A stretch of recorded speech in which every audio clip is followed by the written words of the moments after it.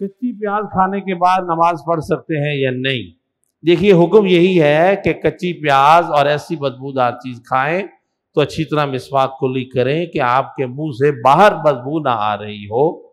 फिर आप नमाज़ पढ़िए और उसका बेहतर तरीका यह है कि मिसवाक करें। और खाने पीने में कच्ची प्याज, मूली खाना मना नहीं है, बहुत खाइए, लेकिन उसके ऊपर कोई चीज़ ऐसी खानी चाहिए जिससे बदबू ख़त्म हो जाए। और बेहतरीन चीज़ है गुड़। अगर थोड़ा सा गुड़ खा लें तो जैसी भी चीज़ खाई हुई वो ख़त्म हो जाती है। अल्लाह ताला इलायची खा लें, खुशबू फैल जाए लेकिन अब तो कच्ची प्याज का मसला मत पूछिए, ये पुराने लोग थे, बेचारे खाते आजकल तो बड़े जदीद हमारे बच्चे, ये जो गुटखा खाते हैं, माफ़ी के साथ, अब तो बूढ़े भी उसमें बहुत आगे जा रहे हैं, औरतें भी। गुटखा और वो क्या, नाम भी इतने हो गए हाँ जो तुम खाते हो वही बताओ। मावा देखो ना बोल पड़े, बड़े बड़े लोग बोल रहे उनकी बदबू तो प्यास से ज़्यादा खतरनाक है। खुदा का खौफ खाओ, कितनी गंदी बदबू की चीज़ें खा के खुश होते हो। और ये जानवर भी देख के हैरान हो, गधा भी देख के आपको हंसता है कि कैसे बेवकूफ़ है। ये तो मेरे से भी बदतर है कि खा क्या रहे ये खाने वाले हजरात थोड़ा सा सोचा करें कि क्या खा रहे अल्लाह ताला समझने की तोफ़ी दे। मैं सख्त लफ्ज़ बोल जाता हूँ, माफ़ी चाहता हूँ। हमारी कौम का आलम यह है कि मैंने एक ईद के मौके पर रात के अंदर अपने घर बैठा हुआ था। तो मेरी खिड़की के नीचे पुलिस मोबाइल खड़ी थी, अंधेरा था ना तो वो अपने नोट छापने में लगे हुए थे। सारी रात उन्होंने सौ, दो सौ बच्चे पकड़ लिए। मैं नीचे उतरा, मैंने कहा, यार ये बच्चे इतने, सुबह ईद, कह रहे सबके पास शराब की बोतलें मोहल्ले के बच्चे में बहुत सारी शक्लें जानता था।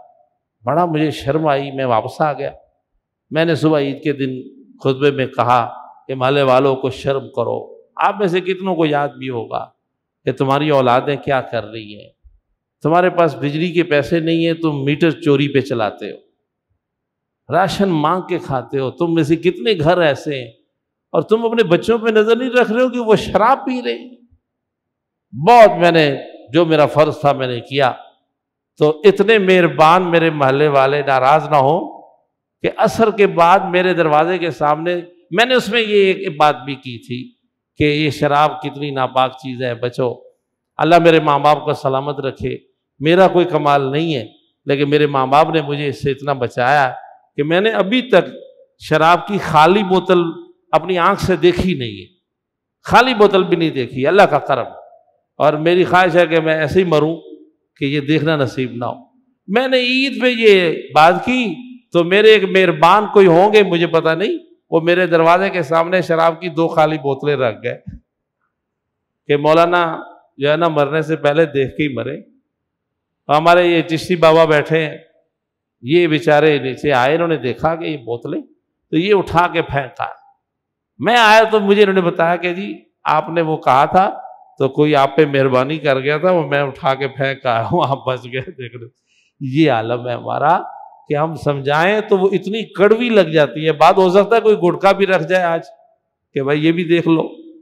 तो ये पान, गुटखा और बदबूदार चीज़ें खाने वाले, ख्याल करें, इनकी नमाजों का सवाब कम हो जाता है और गुनाह भी साथ मिल रहा है। उनकी बदबू से फरिश्तों को तकलीफ़ होती है।